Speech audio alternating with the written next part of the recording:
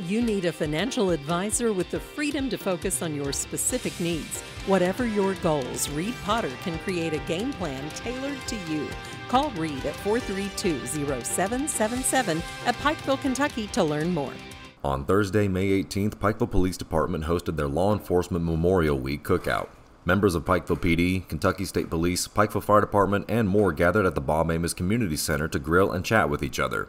Pikeville PD Public Information Officer Tony Kahn thanks community partners such as Food City, Walmart, Save a Lot, and Texas Roadhouse for making this event possible. We made sure everybody was invited, uh, and that was an undertaking to try to figure out all the entities and get them invited, but we'll make sure nobody was left out. And it means the world to us, it means the world to Chief Riddle to sponsor this, and, and uh, it'll be a great time, perfect weather too we represent the community too. We get out here and we're, we're community partners.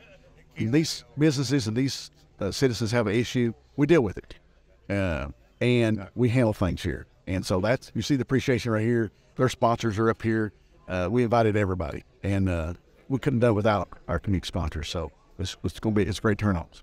Pikeville Fire Chief Johnny Cole expresses his thoughts on seeing the community come together. Everyone was welcome to enjoy the clear weather and each other's company they open it up to all first responders. It's kind of been that way, but this is the first year that uh, uh, Chief Mike Riddle had, had, reached out to us and wanted to make sure that we was included as well, to make sure that we know that we work hand in hand together, that we're going to have each other's backs in the, the worst of times and the best of times. Just getting that interaction together. And it's, it's a great feeling that they wanted us here and uh, allowed us to be a part of it. And we're so thankful for that. Hopefully we can return to favor pretty soon this summer and have some competitive uh, softball games and basketball games coming up.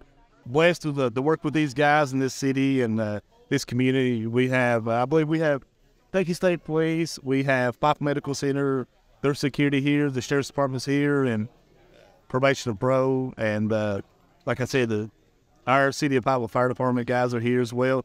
Just being able to support each other and love each other, be here for the right reasons. And that's for the community and and offer anything that we can just to make somebody's day a little bit better. Reporting for Mountaintop News, I'm Nick Collum.